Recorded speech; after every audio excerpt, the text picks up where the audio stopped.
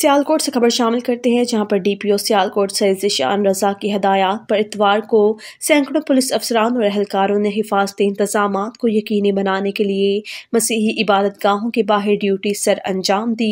assistant commissioner Sialkot Ghulam Sarwar ने security plan के तहत ड्यूटी पर तैनात पुलिस एहलकारों को चेक किया और जवानों को मुस्तदी साइज अंजाम देने की हदायत की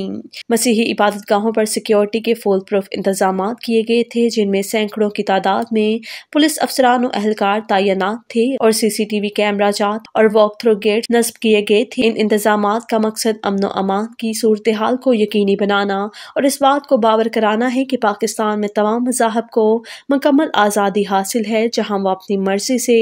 आज़ादाना तौर पर अपनी जिंदगी बसर कर सकते हैं